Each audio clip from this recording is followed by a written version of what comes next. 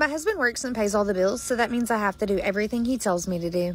That includes having his plate ready to serve him as soon as he walks in the door from work each and every day, like the king that he is. Tonight, my husband told me I better get my ass in the kitchen and make some fried rice and sweet and spicy chicken because if I didn't do that, I would be a useless wife. And who wants to be a useless wife? Not me.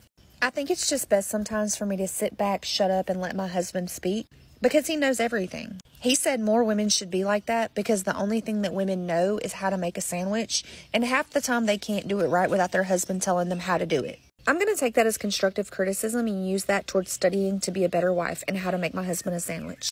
While I was cooking, we had a tornado go right over the house. Everybody went to the closet in the hallway, and I tried to get in with them, but my husband said, Bitch, there's food on the stove. Get back in the kitchen.